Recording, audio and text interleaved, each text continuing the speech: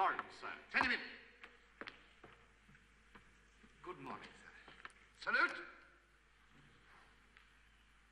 If you're insubordinate with me, Lawrence, I shall put you under arrest. It's my manner, sir. Come on. My manner, sir. It looks insubordinate, but it isn't really.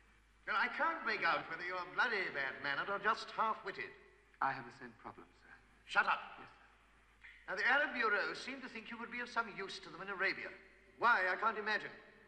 You don't seem able to perform your present duties properly.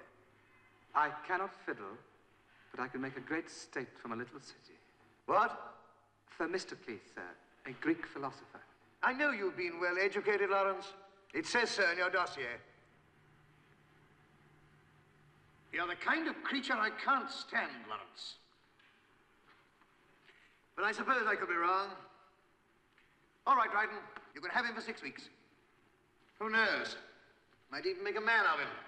Come in.